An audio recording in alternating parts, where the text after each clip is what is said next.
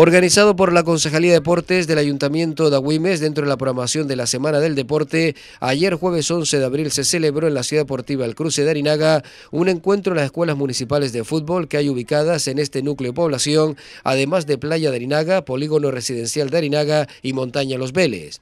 60 niños y niñas con edades comprendidas entre los 6 y 14 años participaron en esta actividad donde demostraron sus habilidades en el manejo del balón ante la atenta mirada y complicidad de las 80 personas entre madres, padres y resto de familiares que siguieron desde las gradas las evoluciones sobre el césped de la chiquillería.